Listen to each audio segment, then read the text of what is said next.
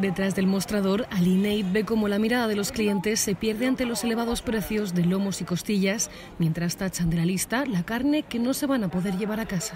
Él sabe de sobra cuál es la situación de los que se acercan a su puesto en el mercado de Babsrija, en pleno corazón de Damasco, donde la mañana transcurre entre preguntas sobre precios.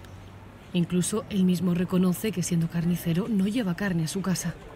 Siria lleva nueve años en guerra, un conflicto que explotó en medio de las primaveras árabes y que estuvo a punto de tumbar al gobierno de Bashar al-Assad. La guerra ha sido dura, más de 400.000 personas han muerto según la ONU en estos años y al-Assad ha recuperado el control de la práctica totalidad del territorio.